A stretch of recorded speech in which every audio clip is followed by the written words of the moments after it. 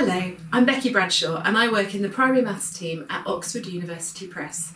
I'm going to talk you through what you can expect from Numicon Big Ideas.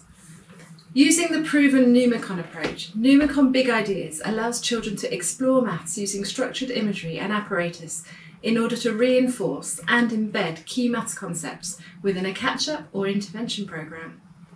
As you can see, this is a pick up and go pack. Each session card can be taken out of the pack, which is handy for implementation.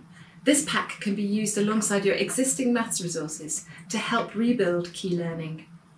It's a programme of additional sessions for small groups, focusing on key elements of the primary maths curriculum for pupils who aren't meeting age-related expectations in upper Key Stage 2 or Key Stage 3, so that's children aged 10 upwards, to lay the foundation for their success at secondary school, as well as in assessments at the end of primary school. The programme focuses on strong reteaching of key maths topics using an active practical approach to support reasoning and mathematical conversation, with children exploring maths using structured imagery and apparatus. You'll need the Numicon Big Ideas Apparatus Pack to support the sessions in this teaching pack.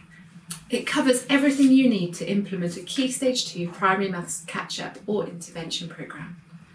It starts by introducing the Numicon approach, providing a full explanation of how to implement the programme and offers expert advice on how to make your sessions most effective.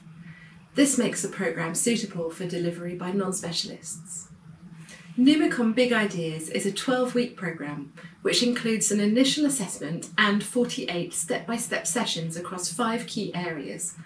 Number and place value, adding and subtracting, multiplying and dividing, fractions, and working with fractions, decimals, and percentages.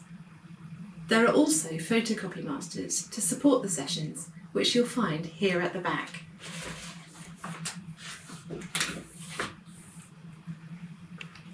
Let's take a closer look at one of the step-by-step sessions. The sessions are printed on session cards that can be removed from the folder. This one is from Unit 9, Multiplying and Dividing, and focuses on interpreting remainders. Each session starts with the educational context to show how it builds on previous sessions. It identifies the prior learning that's required to access the session and indicates ways to make connections, objectives, and important vocabulary. The Have Ready section will help you to know which resources from the Big Ideas Apparatus Pack you'll need for the session.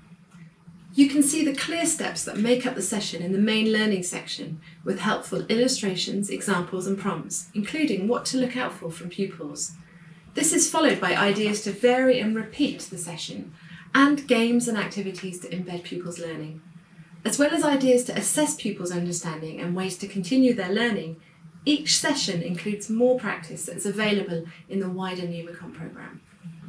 So that's an overview of Numicon Big Ideas. If you want to find out more, you can look inside the books on our website, or you can get in touch with your OUP educational consultant order the pack. See the details on the screen now.